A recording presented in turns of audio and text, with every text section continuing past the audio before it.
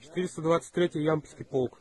4-й гвардейской танковой дивизии Кантемировской. Стоим на передке, блядь.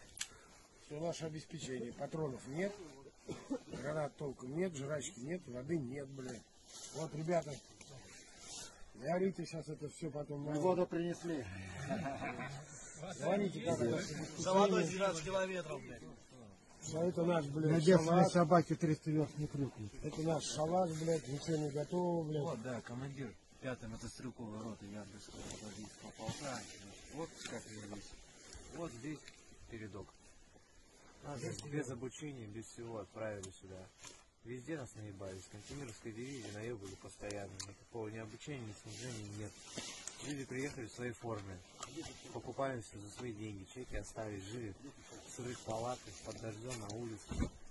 И так до самого конца. Приехали сюда, вот наше обеспечение, это то, что мы сами смогли добыть. Пешком, да. Пешком, да. Вот, отец у нас ходил. 5 километров туда, 5 километров обратно. Задачи не ясны.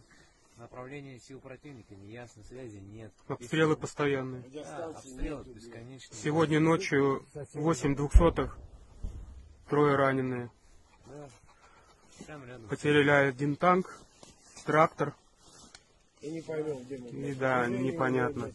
Связи нету от слова совсем. Ну, соответственно, у каждого по 4 магазина. Вот и все.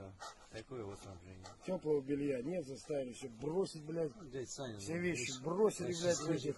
Вперед, бегом, бегом, блядь. Стоим, блядь, в одних штанах, Да, гнали в попыхах. Больные, блядь.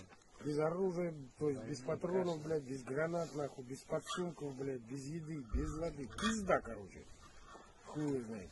Да здравствует российская армия, блядь. Только еда дошла.